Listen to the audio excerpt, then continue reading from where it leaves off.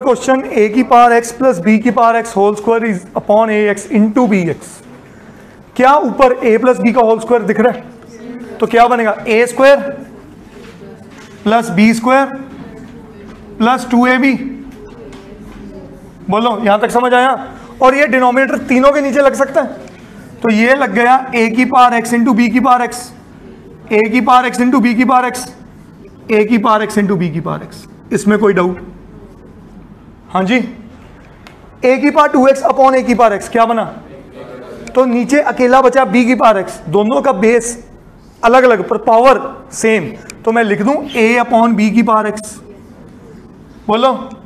यहाँ लिख दूँ बी अपॉन ए की पार एक्स और यहाँ अकेला टू लिख दूँ। क्या सब एग्री कर गए? ए इंटू बी वाला क्वेश्चन किया था हमने आज। ए की पार एक्स इंटू बी की पार एक्स इनिशियल क्वेश्चन में। तो वहाँ मैंने बताई थी ए इंटू बी तो कॉन्स्टेंट ही है, जिसको मैंने कहा था, मन में सी सोचो। तो ए अपॉन बी तो एक कॉन्स्टेंट ही है। तो ए की पार एक्स की इंटीग्रेशन क्या होती है? ए की power X upon log A by B क्या ये बात समझ आई?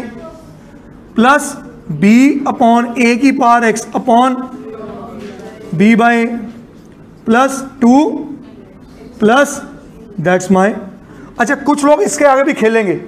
वो यहाँ लिखेंगे ए की पार एक्स अपॉन बी की power X into log A minus log B कोई ज़रूरत करने की नहीं है। करिए नोट यहाँ तक।